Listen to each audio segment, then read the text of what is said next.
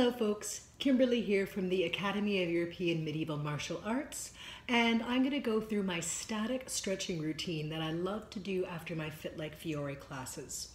So the first thing that we're going to do is you can do this uh, sitting cross-legged or as I like to often sit in this position. I'm going to take my arm and I'm going to pull it across my chest and then bring the other arm up like so. I'm going to hold this for minimum 30 seconds then I'm going to transition so that this arm is just sort of dropped behind my back like so. And then I can bring the other arm up just to gently sort of enforce that hand lower if possible, just like this. And I will hold that for 30 seconds as well. Then I will switch and do the same thing on the other side again minimum 30 seconds for each hold. Sometimes I like to go as far as a full minute as well, completely and totally up to you. After that, what I like to do is stretch out my neck. What I will often do, drop my right ear towards my right shoulder, but without trying to push this up like so.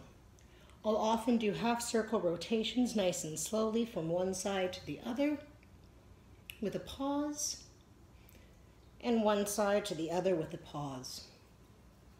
Then what I will do is I will bring my hand up, taking my fingers and the upper part of my palm here, placing it alongside this part of my temple beside my eye. And instead of pushing down, what I'm gonna do is I'm gonna stretch that up and out like so, dropping my shoulders and really stretching that neck out. And again, we'll hold this for minimum 30 seconds. Release. Slowly switch sides. And do the same thing again. But on the opposite side, hold them for minimum 30 seconds. Then what I like to do is this routine. I will lie down on my back, feet up in the air like so. I'm going to take my right leg, cross it in front of my left, reach my hands up, under and through, so that they're kind of grasping the back of my thigh along my hamstrings, but not too tight. Then I'm going to bend that leg, and I'm going to push and open my right hip here, while leaving this leg bent like so. And as I do so, I wanna push my lower lumbar spine and the top of my glutes into the ground. What I want to avoid is curling my butt up like this and getting into this sort of hollowed, rounded position. I wanna be pushing that into the ground and doing this like so. A more um, challenging version of the stretch would be if you would like to try to grab your other foot like this. Then what I like to do is transition into this stretch here. I can do this with my foot out in front of me like so. And what I'm trying to do is push this hip into the ground as best as I can while having this foot flat and a nice straight back. If I want to challenge myself, I will bend this leg as well and then really try to work on sinking that hip down into the ground while maintaining a straight back like so. Then, whatever leg I was using as the upward leg will be placed down on the ground in front of me. I'll take my other leg and swing that around behind me and try to get in to this sort of position here. You might be up like this. There is absolutely nothing wrong with this whatsoever. We're all gonna be at different levels.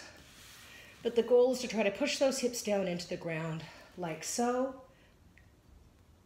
Other things that you can do with this stretch if you wanna challenge yourself, try to get those hands off the ground or try to make yourself look like a nice Capoferro plate, like so. Other things I will do is also bring both hands forward and deepen and lengthen that stretch, just like this as well. Then when I'm done, I'll take my back leg, swing it forward so that it becomes my front leg. Then, raising my arms up in the air, I am going to reach, reach out in front of me. When I say out in front of me, I really mean I want to be tr trying to grab something that is just out of reach. I don't want to be, again, I want to avoid this sort of hollowing position, which actually makes my spine and my back kind of crunch in on each other so I'm unable, I'm preventing myself from getting down towards my leg. I want to reach out, up, and over, and that's what's going to allow me to get down further and further and further like so.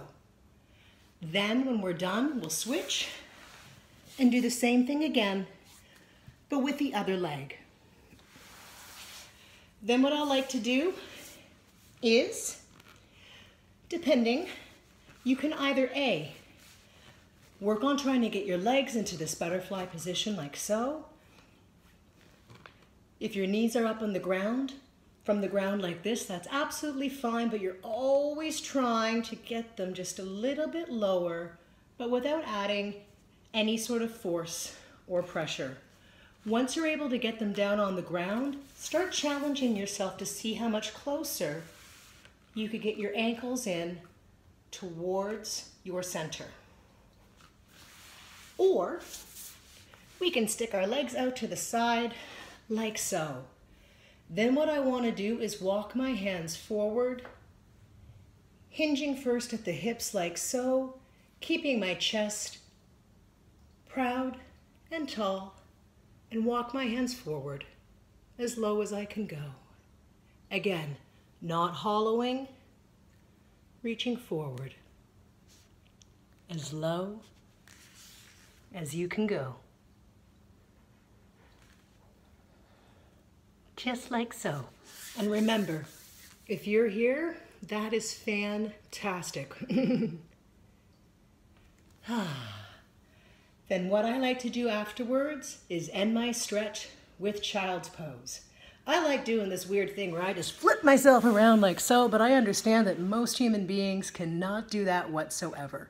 So, once you've come out of that stretch, get onto your knees, place your hands forward, push your hips and your butt back so that you're trying to push them into the top of your ankles. so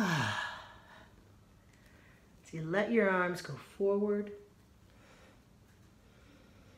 Hmm, just like so. And again, holding each stretch for a minimum of 30 seconds. And that, my friends, is one of the general stretch routines that I love to do after my Fit Like Fiore class. And these are just awesome to do anytime. Um, I'll often do these after a long bike ride or anytime I'm just feeling kind of stiff or not at my best. So enjoy, folks, and please remember to stretch, stretch often, and always stretch after your workouts.